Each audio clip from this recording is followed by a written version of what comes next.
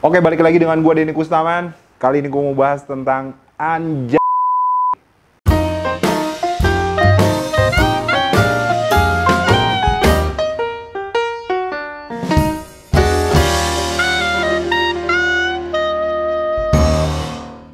Nah, baru-baru ini rame banget di media sosial, khususnya uh, konten kreator ngebahas tentang kata anj. Jadi ada sosok anak muda yang dia peduli akan bangsa ini, akan generasi muda tentang penggunaan kata anj agar tidak dipergunakan untuk hal yang negatif. Gue udah nonton video vlognya Deddy Corbuzier. Uh, pada saat gue nonton video vlognya podcastnya ya, podcastnya Deddy Corbuzier, itu jujur gue di situ berkomentar. Berkomentarnya adalah tentang bahwa uh, sosok anak muda ini yang mengangkat tentang kata tersebut itu ya menurut gue sah-sah aja. Dan uh, di situ gue berkomentar kurang lebih seperti itu. Gue nggak bilang sah-sah aja tapi komentar gue gue lupa ketika gue cari-cari. Karena banyak banget yang berkomentar di kontennya di podcastnya Deddy Corbuzier waktu ngundang uh, sosok anak muda itu. Mungkin kalian udah tahu juga. Gue nggak nemu tadinya gue mau uh, tampilin di konten ini juga biar kalian bisa tahu komen gue seperti apa. Jujur gue nyari-nyari kesulitan, mungkin udah ketumpuk sama komen-komen yang lain karena ratusan ribu bahkan terakhir gue lihat hari ini 200 ribu lebih yang komen. Uh, itu rata-rata uh, ya bisa dibilang uh, mungkin arahnya tidak setuju banyak yang komen. Tapi gue di situ komen sedikit netral dan lebih uh, bahkan komen terakhir gue itu stay positif kata-kata seperti itu.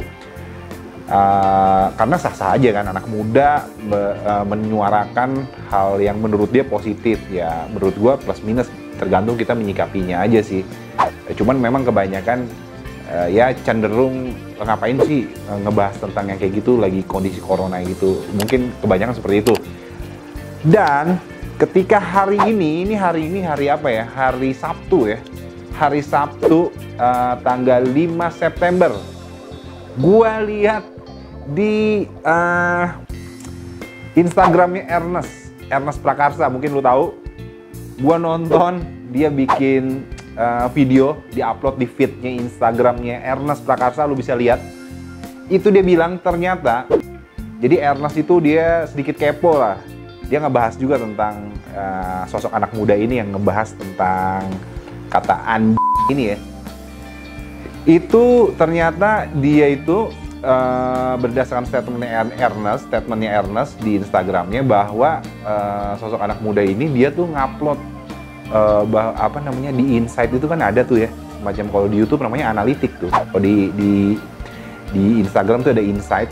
Jadi perkembangan orang yang melihat pembahas dia tuh si sosok anak muda ini dia dia ngebahas tentang kata anjay ini.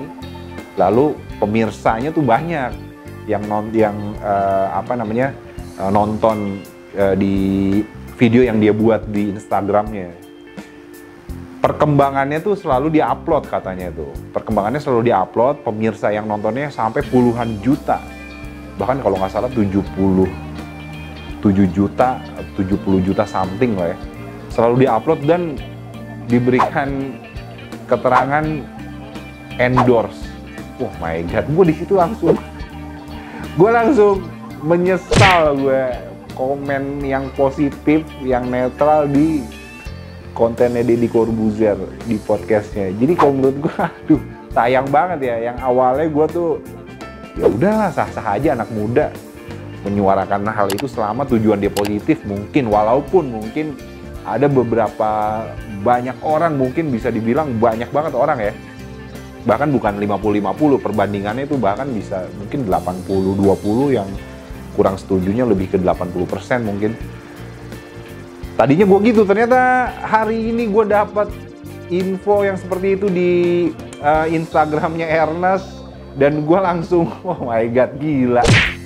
Ngapain gitu? Walaupun memang hak dia ya, hak dia ya. Ketika dia bikin satu konten dan viral, boom seluruh Indonesia uh, sorot mata langsung melihat ke Instagram dia jutaan bahkan puluhan juta orang jadi tahu sosok anak muda ini dan dia mengupload nih bahwa hello yang nonton Instagram gue yang udah tahu Instagram gue banyak nih penontonnya dari video yang gue upload di Instagram gue banyak banget puluhan juta orang.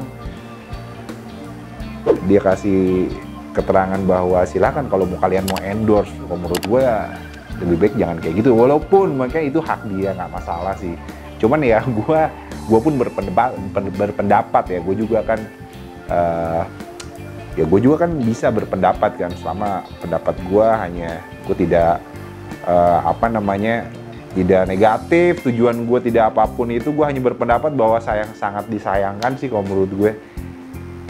Jadi gue kayak mau gue delete lagi tuh komen positif gue yang ingin mengajak juga saya positif aja lah di komen terakhir gue di podcastnya Dedi cuman karena gue udah nyari-nyari Denpus channel YouTube channel gue ini komen di podcastnya Dedi yang undang yang ngebahas tentang an kayak gitu. Gimana sih komentar lo?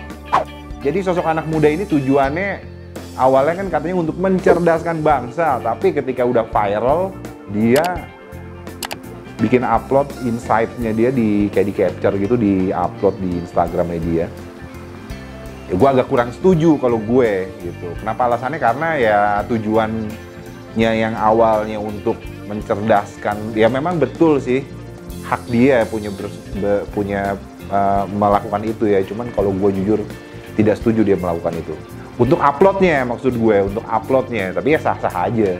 Orang kan bebas melakukan sesuatu selama itu tidak uh, negatif untuk orang lain ya itu hak dia oke mungkin itu aja jadi statement lo gimana komentar lo gimana tentang sosok anak muda ini dengan perilaku yang dilakukan silahkan komen di bawah Thank you udah nonton video ini, share video ini ke seluruh medsos teman-teman lo. Jangan lupa like dan yang penting komen kita komunikasi di bawah.